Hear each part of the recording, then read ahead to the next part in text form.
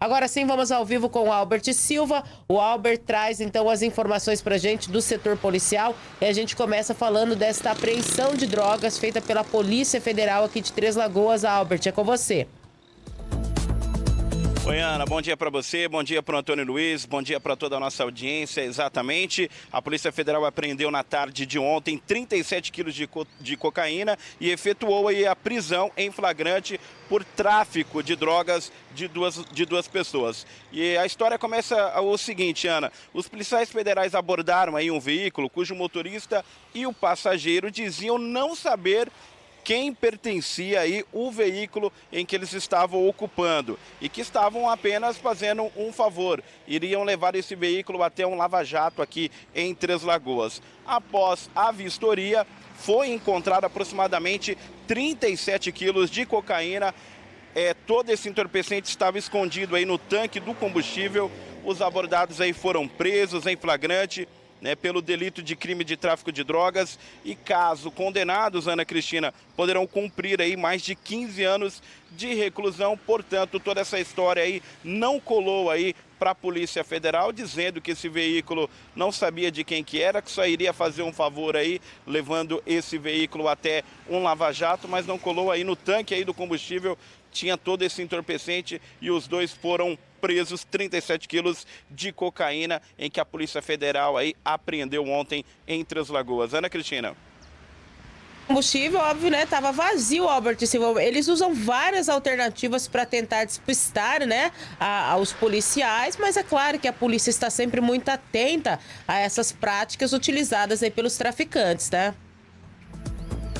Exatamente, né, Ana? Os traficantes aí são muito criativos, né? Colocam entorpecente aí é, dentro do, do, combustível do carro, do tanque de combustível do carro. Às vezes fazem até compartimentos aí em que dificulta até o trabalho aí da polícia na identificação desse entorpecente. Só que a polícia está atenta, viu? A polícia está ali atenta, né? Já sabe ali a, né, aproximadamente onde é que fica escondido todo o entorpecente e a casa caiu para esses dois aí. Foram presos. Ô Albert, ô Albert, eu tô tentando entender aqui, a gente vendo imagens, inclusive, né, desta droga no tanque de combustível.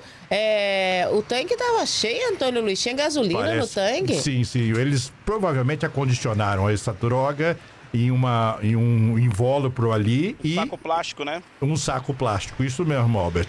E isso fez com que ela não tivesse contato com o combustível. Daí dá para manter o, o, o tanque cheio, né? E carregar a droga também. Usa a inteligência pro lado errado, né, Ana? Olha, eu vou te contar aí, quem usar essa droga vai ficar mais doidão ainda, hein? é, com cheiro de combustível e cocaína, eu não sei que, graças a Deus, desse mal eu não morro. Mas é um negócio de doido, né? Quem usa Verdade. essas coisas aí. Olha isso, gente. Que coisa, hein, Antônio Luiz? Acondicionaram muito bem para carregar tanto o combustível quanto a droga e achando que a polícia não ia de maneira nenhuma encontrar isso. Mas. É, porque tá falar, quem imagina, né? O tanque de combustível ali, porque você precisa do combustível para andar com o veículo, né?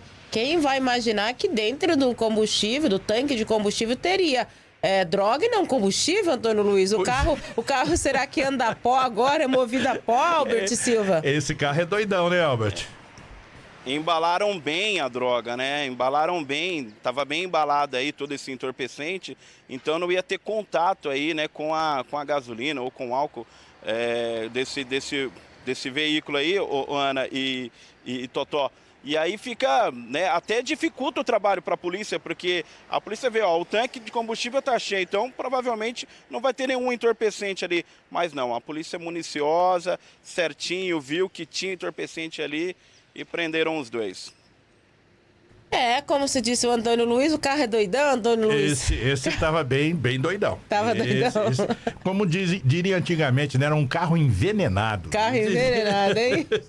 Eita, nós, né? A polícia acabando com o barato de muita gente. Muito bom. Parabéns à Polícia Federal, a Polícia Rodoviária Federal também constantemente apreendendo drogas. Ontem a gente falou bastante aqui da PRF, que tem feito esse trabalho na BR-262 e tem que continuar mesmo. Denúncias, gente, importante importante também.